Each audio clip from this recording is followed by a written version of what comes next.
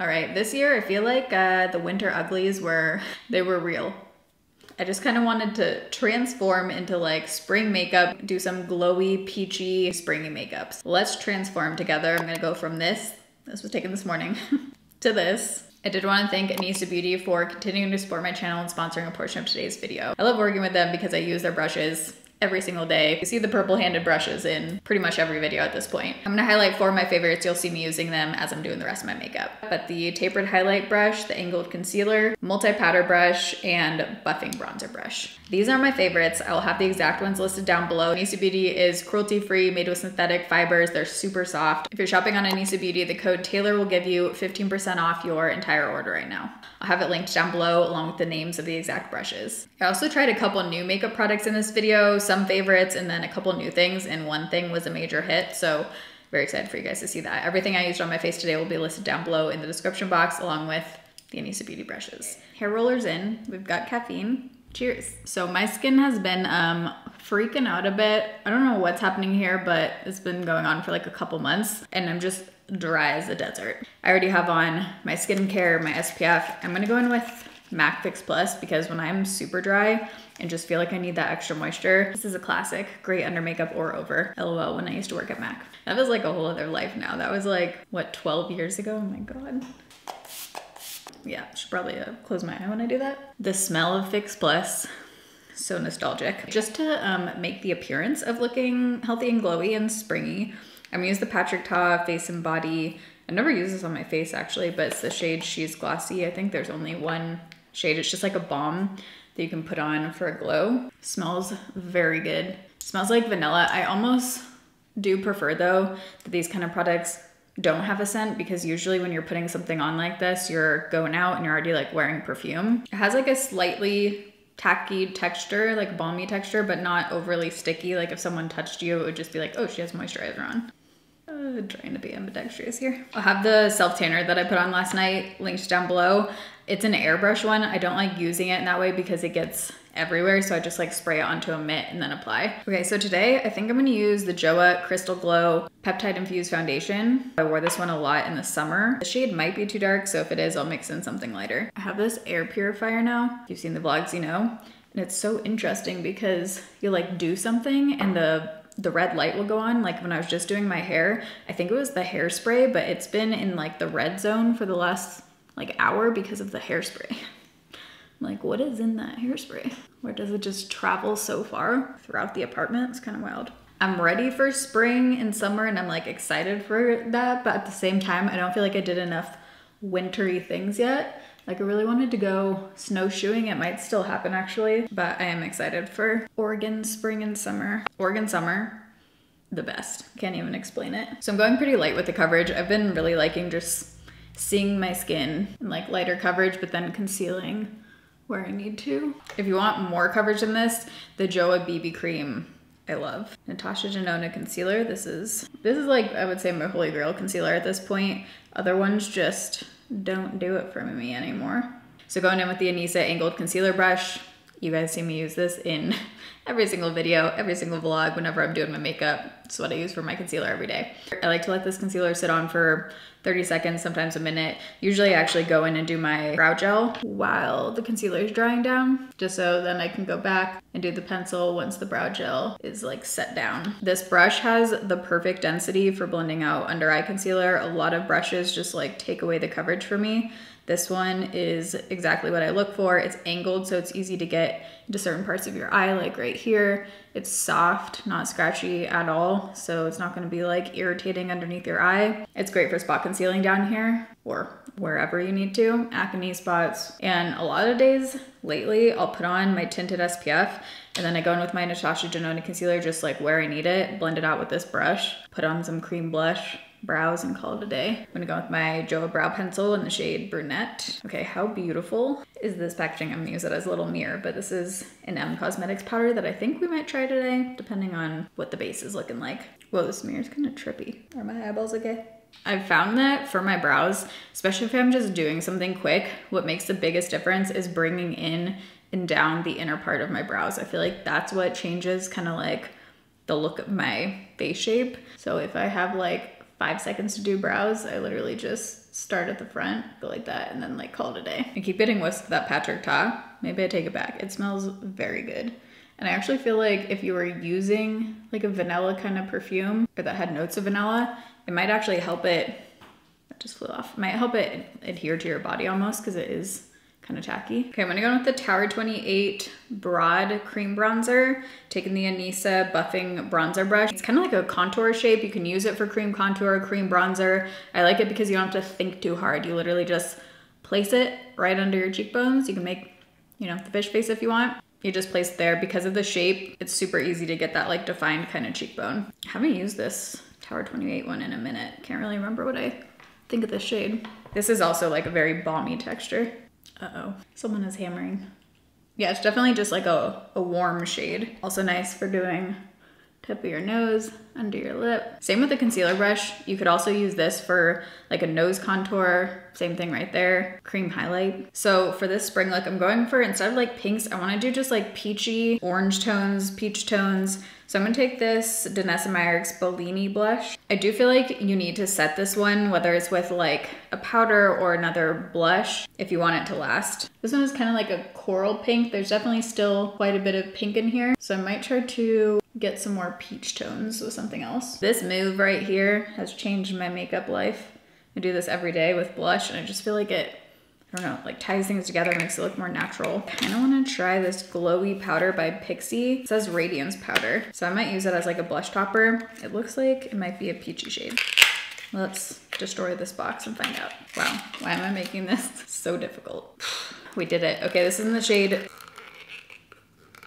was an experience getting this open. This is in the shade Peach Dew. Ooh, oh yeah, that might be exactly what we're going for here. This kind of product, especially when I want a blush topper kind of look, Love using this brush by Nisa. It's a tapered highlight brush. It is tapered, so if you want a more precise application, like right here, you can, but you never get, I never get like the stripey kind of effect with this because of the shape of it. But I love this for a blush topper because it disperses the product nicely. You could also use this for blush, honestly. I don't know how glowy this is, so guess we'll all find out.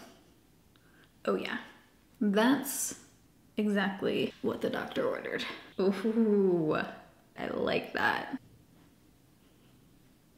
Yep, I feel like I'm gonna get a lot of use out of this. It has that peachy tone. It's not like too glittery, especially with this brush because it kind of diffuses the product. That looks good.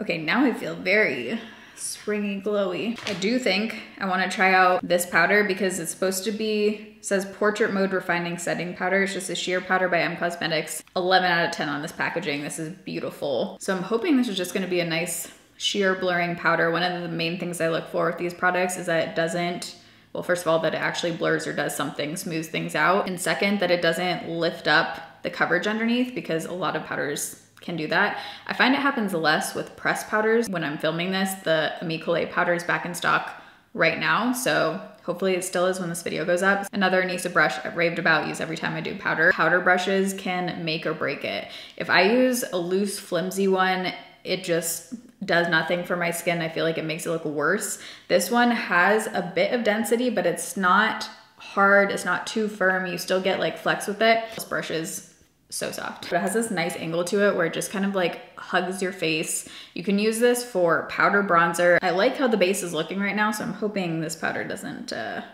destroy it for us here. I'm gonna just try it on my chin first. Can't tell if it just took away, I think it might be one that takes away some of the coverage. Okay, I'm gonna try it right around my pores. I'm gonna add in some of that glow back to my nose. It definitely did some blurring. I can't quite tell yet if it took away some of the product underneath. I'm gonna have to keep testing this one. Immediately, don't hate it. We'll see. I do wanna add some glow back in though to my nose. Just the bridge of my nose. These two together. Just on the very high point, because I want this to be super glowy, I think I'm gonna take my GXVE Beauty Homegrown Glow. Also such a beautiful product for that peachy just warmth. I'm gonna use the same brush, but just apply it right here. Just want a little bit lighter right there. Going with my Laura Mercier Caviar Eye Stick. So I want to keep the eyes light, but like peachy. So I think I'm gonna use the Patrick Ta Major Dimension palette. Start off with this shade, just put that all in the crease.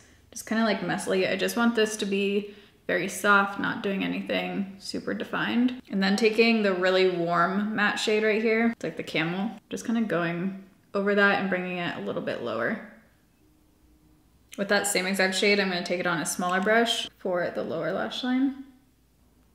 So the second shade over is definitely a peachy shade. I'm debating if I wanna use this or use this. I think I'm gonna start out with the Patrick Ta and if I feel like it needs a little help, I'm gonna go into Pixi. I'm just gonna use this on my finger. I might actually mix in a little bit of this bronze. Yeah, there we go. Here's the bronze shade alone. And then going in with the peachy shade bringing it a little more in. Do want a little more warmth on the lid. So I'm gonna take the Pixi. I'm curious how this is gonna look on the eyes. Beautiful. Pixi is really coming through today. I want to lift the eyes a little bit using a brown shadow. So I'm gonna take a flat liner brush and go in with this really warm brown shade. And I'm just gonna create like a soft liner, really lift on the outer part. I don't really want it to look like a wing. I just want it to be lifted. So I'm gonna soften it out with this brush. I'm not bringing it all the way in. I'm only stopping about halfway. Taking that same shade, I'm gonna plop it right here but very close in, not blending too far down. I want a little more pop on the inner corner. So I'm gonna take the lightest shade in the Patrick Ta. I'm actually gonna do lips before I do lashes and stuff because I can't decide right now if I need a little bit something more in the eyes or not. I think I'm gonna take this, also Patrick Ta, lip liner in the shade She's Bold. I wanna go for the peachy tone on the lips too, so I just want a little definition with this one. I love that this clicks up, by the way. I found the best freaking lip product that's been keeping my lips super hydrated, even though it is hella dry. So I'm gonna talk about it in my March Rags and Rejects video. Oh yeah, this is perfect. I don't wanna fill them all the way in, so I'm just kinda smudging that out. I'm gonna take a little bit of Bellini, just dab it. There we go. I don't want it too filled in, I just want a little color. Oh, that's actually really pretty together for just like a soft matte, but still kind of natural look. Now I'm kind of like, wait, do I want to even put a gloss over top? Actually really like that. I'm gonna sit on that for a minute. I might not even wanna put anything over top of that. I do wanna put just a couple corner lashes on, so I'm gonna apply my mascara. Wow, look at this. What a day. A moment of silence. Wait. the theme today. I love this mascara for these kind of looks because I feel like it does a really good job of bringing the lashes out. Like for this kind of look, I don't want to have a lot of mascara right here. I want it to really lift the outer part of my eye and I feel like this does a good job of that always. I'm gonna take the same mascara, put a little bit just on the outer lashes. I don't wanna bring it too far in. Okay, I'm gonna put on a couple corner lashes. I wanna try these ones. I got these on YesStyle. Oh my God, that thing is hella long. I need to, no, these are just super long. There's like one strand that is about to fly away. Mm, no, I don't know if you can tell. Look at that. That looks ridiculous. Okay, these are a no. I'm not putting that on my eyeball. Usually I use half of the 692s. I think I'm gonna use a third of them and use like the smaller third. Let's first cut it in half. So I'm taking this smaller half. Now I'm gonna take a little bit off the front and kind of use like the middle section actually. Just gonna see what it would look like. Yep, see that, that's what we want. Okay, the lashes are on. I feel like that always makes such a difference. If you don't wanna deal with the glue or your eyes get irritated like mine do, the Kiss press on lashes, I love. I'll link them down below. I think I'm gonna keep the lips matte. I can't remember the last time I had a matte lip, but I really like the look of it with like the super glowy cheek. I put a lot of hairspray in, zhuzh it up. All right, so this is the final peachy, springy kind of look. I must say, I'm feeling much better. I need to go do something now. Feeling glowy, feeling moisturized. I'll have all the makeup I used in today's video along with my Anisa brushes linked down below. The code Taylor, which will give you 15% off your entire order on Anisa Beauty. This was fun. I feel like I'm reinvigorated and excited to be like playing with makeup again and just have a space to do it. So I love you guys. Thanks for watching. See you in my next video. Bye.